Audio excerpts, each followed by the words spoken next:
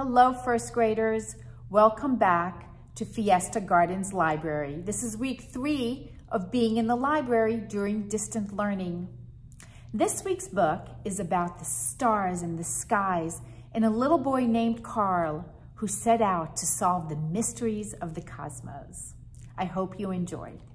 The story is Star Stuff, Carl Sagan and the Mysteries of the Cosmos.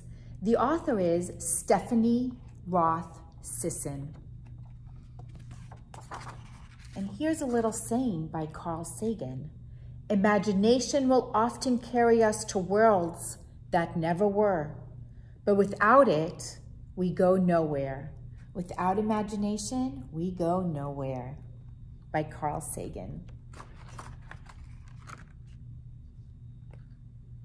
In a Milky Way galaxy, in a neighborhood of stars, on the third planet from the sun, in a big city, Brooklyn, New York, in a small apartment, lived a boy named Carl.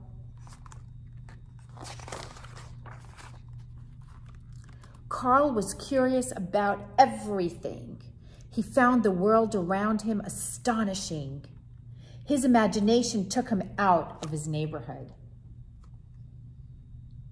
announcing the 1939 World's Fair. Come see the world of tomorrow.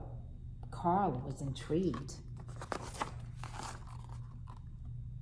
The World's Fair was like nothing Carl had ever seen before.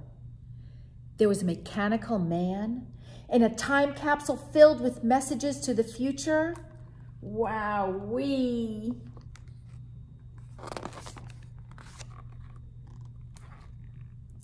Carl thought about the stars hanging down like light bulbs on long black wires.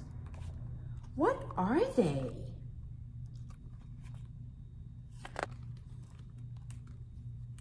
In the morning, he set out to discover the answer.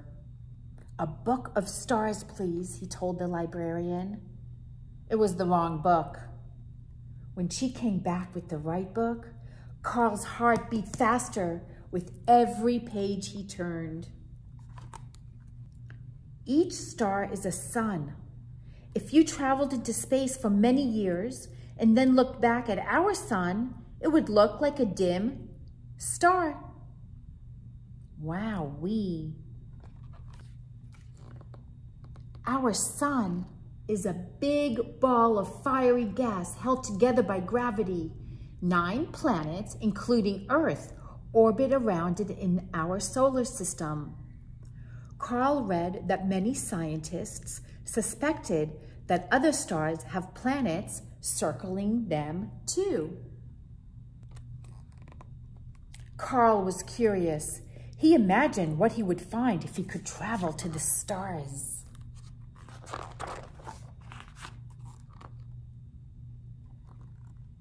He read stories written by people who imagined what life might be like on other planets. His favorite character, John Carter, could stand with his arms outstretched and wish himself to Mars.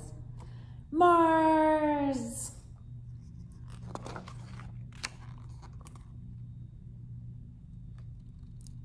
But nothing happened.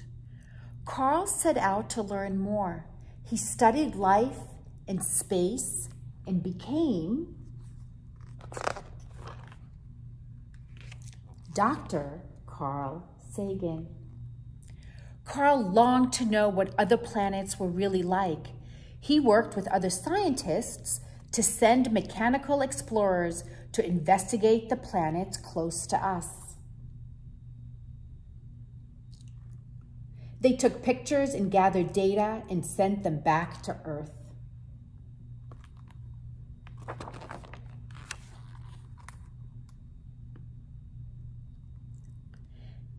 It gave Carl goosebumps to think about what he had learned about the stars, planets, and the beginnings of life. He wanted everyone to understand so that they could feel like a part of the stars as he did. So he went on television.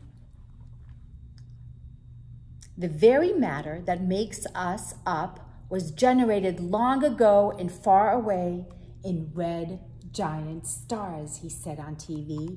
Wowee, wowee.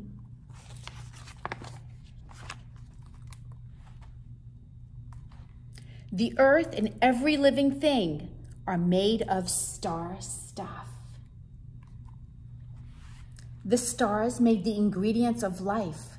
Could those ingredients have resulted in life elsewhere too? Carl and his fellow scientists got ready to launch the Voyager 1 and Voyager 2 spacecraft on a grand tour of the outer solar system to gather more pictures and data. After that, they would be bound to the stars. A marvelous idea gripped Carl.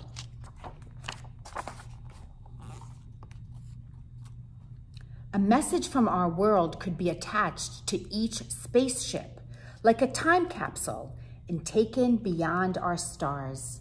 Greetings, bonjour, namaste. We thought it would be impolite not to say hello. Music and heartbeat and pictures. The twin Voyagers rocketed to space carrying their friendly greetings of music and hellos.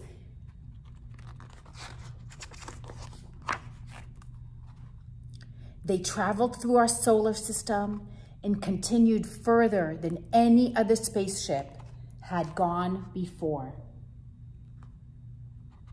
A curious man made of star stuff launched a spacecraft on an adventure to explore beyond our neighborhood of planets. As the Voyagers continue their journey into interstellar space, they are carried by the imagination of a boy named Carl. Wow, we. The end. Star Stuff Carl Sagan in The Mysteries of the Cosmos. As a little boy, he only had an imagination, but then he studied hard and became a scientist and an explorer of our galaxies. We can do anything we want. The author of this book is Stephanie Roth Sisson. See you next time. Thank you.